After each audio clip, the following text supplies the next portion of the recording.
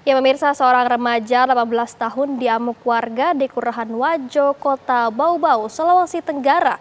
Usai terpergok mencuri sepeda motor yang akan digunakan untuk mencuri handphone. Dan pemirsa, inilah detik-detik aksi pencurian sepeda motor di siang bolong terekam CCTV. Pelaku terlihat berhasil membawa kabur sepeda motor yang terparkir di depan rumah warga.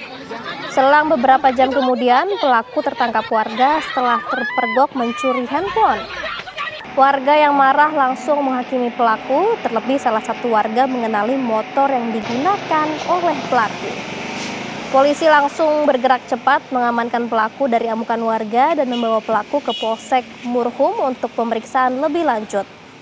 Pelaku diketahui telah melakukan aksi pencurian sepeda motor dan handphone di beberapa lokasi yang berbeda.